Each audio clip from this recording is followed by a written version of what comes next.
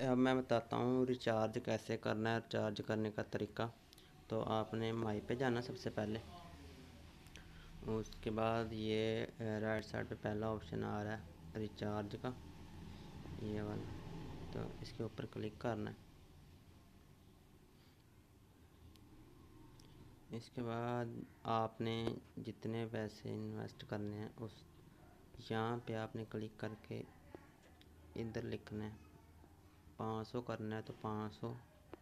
लिख के आपने ये नीचे रिचार्ज वाले ऑप्शन पे क्लिक कर देना। ऊपर ये वाला इसको चेक कर लेना। इधर ही ऑनलाइन पेमेंट पे ही रहने देना है इसको। और उसके बाद आपने रिचार्ज पे क्लिक कर देना। क्लिक करने के बाद आगे नया पेज ओपन होगा। उसमें अकाउंट ओपन करेंगे वो जिसमें पैसे देने हैं। तो ये आगा इसमें ऊपर आ रहा है। पाँच मिनट हैं आपको इसमें पैसे ऐड करने के लिए, इससे लेट नहीं होना चाहिए। और आपने फिर जाना है यहाँ पे गो पेमेंट पे। गो पेमेंट पे क्लिक करेंगे तो वहाँ पे अकाउंट ओपन हो जाएगा जिसमें ये पैसे करने हैं। तो ये बैंक अकाउंट आ गया सैफुल दीन और ये उसका बैंक नंबर है और ये HBL का है अकाउंट। इसमें HBL में है। तो आपने यहाँ से ये इधर से कॉपी कर लेना। ये वाला इसका बैंक अकाउंट नंबर उसके बाद आपने चले जाना है अपने जैज़ कैश या इजी पैसा में।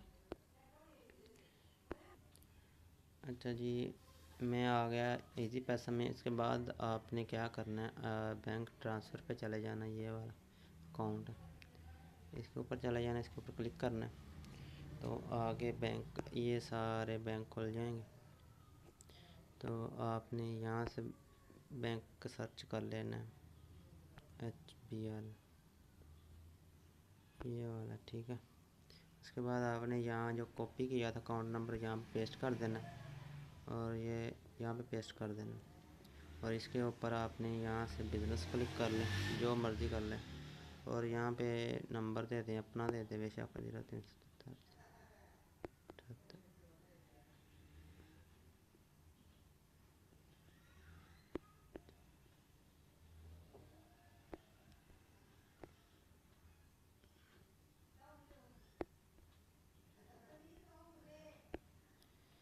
अच्छा ये नंबर हो गया।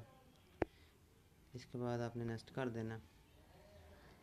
और यहाँ पे जितनी अमाउंट वहाँ पे लिखी थी, आपने पाँच सौ लिखा था, यहाँ भी पाँच सौ लिख के नेक्स्ट करना।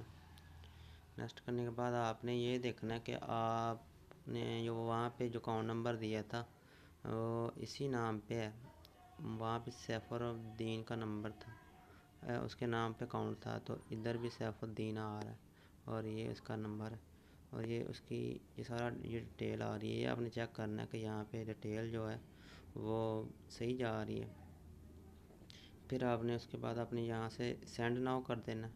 सेंड नाउ के बाद जो आएगी ना स्लिप वो उसका स्क्रीनशॉट ले लेना। स्क्रीनशॉट लेने के बाद आपने फिर वापस जाना है। इधर आ जाना है, यहाँ पे।